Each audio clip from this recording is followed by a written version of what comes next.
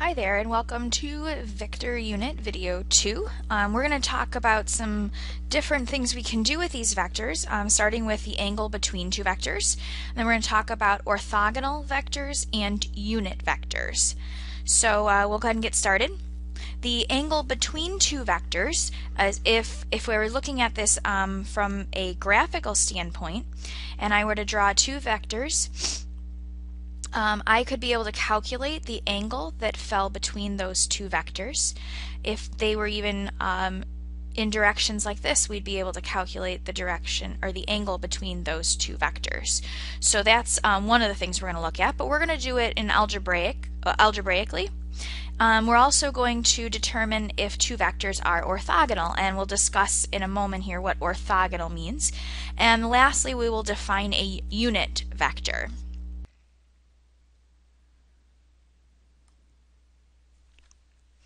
Okay, so we're going to work here on finding the angle between two vectors. If theta is the angle between the two non-zero vectors u and v, remember we're using our boldface u and v to represent vectors, um, where the angle falls between 0 and 180 degrees, then we have this formula here. So this gives us our angle. And um, in order to solve for theta, because theta is our ultimate goal here, I'm actually going to divide by the magnitude of u times the magnitude of v onto both sides.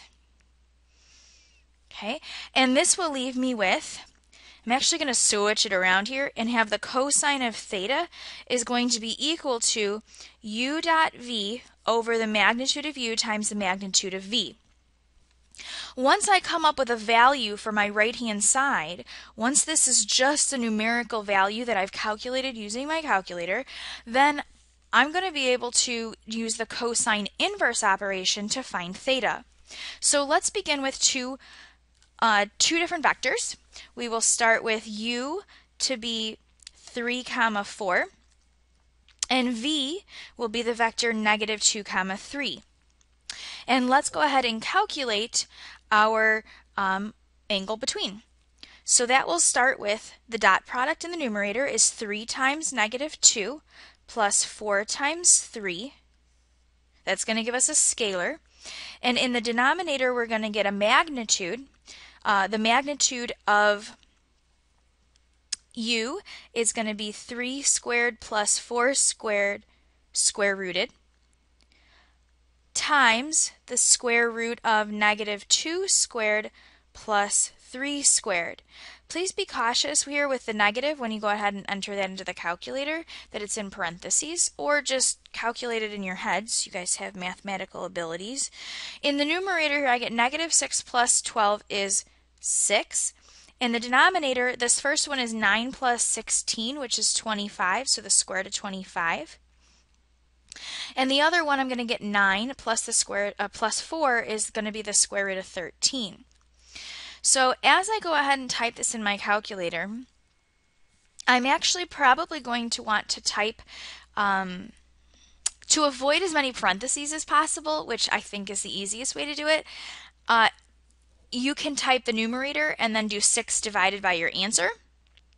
If that didn't make any sense to you, then go ahead and just make sure that you're using parentheses in the denominator here to open up the entire thing. So it would be like 6 divided by, and then you know that's going to be 5 square root of 13, but you have to open these parentheses in the denominator first.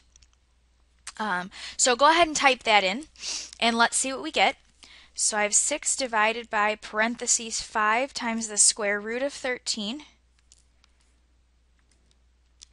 Uh, and I get 0.33282 and it goes on. And I, I do not want to ever round. Again, we're going to keep that number in our calculator, and because I'm looking for the cosine of theta that equals that number, I want to take the cosine inverse of my answer, and that gives me 70 degrees.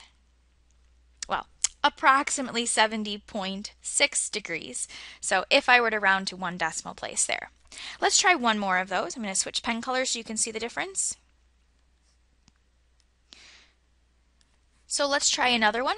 For this one, let's do u equals the vector 3, negative 1, and vector v is 7, um, times 5 or 7, 5, excuse me.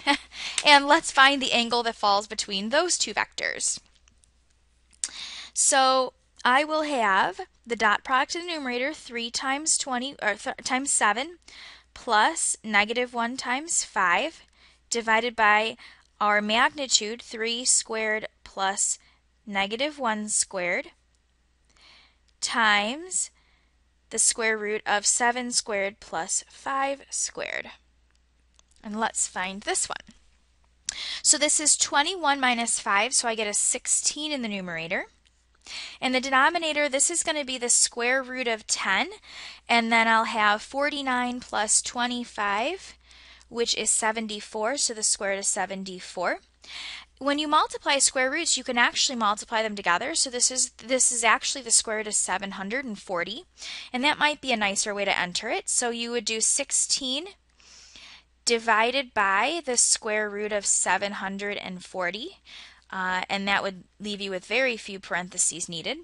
So I'll calculate that. 16 divided by the square root of 740, and it gives me approximately 0.588. I'm going to take the cosine inverse of that answer so that I can find the angle, and that the angle here, so that was theta, theta equals, or approximately, uh, if we went to one decimal, I'd actually be at 54 degrees because it came up to be 53.97. All right, we got two more things to do. Let's move on. Okay, so let's determine if two vectors are orthogonal. What does orthogonal mean though? Well, two vectors are said to be orthogonal if the angle between them is a right angle. So if we did the calculations to find the angle between two vectors that we just worked on, so that formula was the cosine of theta equals the dot product of u and v over the magnitude of u times the magnitude of v. And we calculated it and we did cosine inverse and it came up to be 90 degrees, then we would say these two vectors are orthogonal. So if we wanted to determine if two vectors were orthogonal, then all we would need to actually find is that the dot product is zero. Here's why. If my dot product is zero, my numerator would be zero. If my numerator was zero, the entire value would be zero. And where is the cosine of theta equal to zero? At 90 degrees. So we would determine that the two vectors with a dot product of zero to be orthogonal. So let's skip all the extra work of calculating the denominator because if the numerator comes up to be zero, we've already got our value, zero. Here goes. So let's try this for two examples. We're going to do u, vector u is 3 comma 4, and vector v is negative 2 comma 3. Let's determine if these two vectors are orthogonal. My dot product would be 3 times negative 2 plus 4 times 3. That's negative 6 plus 12 is a positive 6. These are not orthogonal. Let's try another one. How about 3u is equal to 3 negative 1 and V is equal to 721. My dot product is 3 times 7 plus negative 1 times 21. Well, that's 21 minus 21. That's 0. So these two vectors are orthogonal.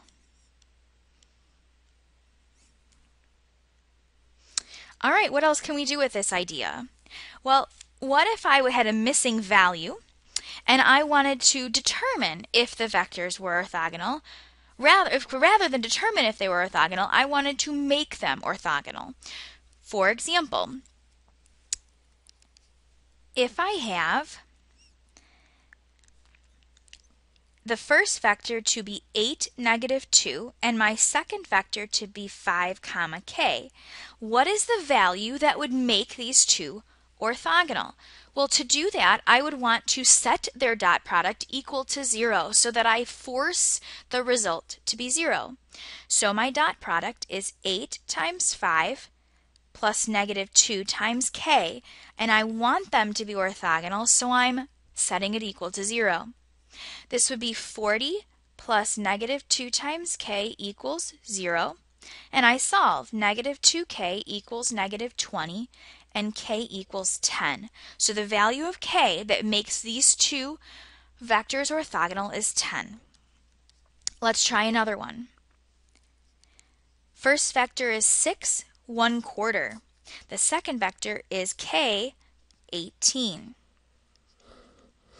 Okay, so I'm going to go ahead and, and create my dot product, 6k plus 1 fourth times 18, and I want that to be equal to 0.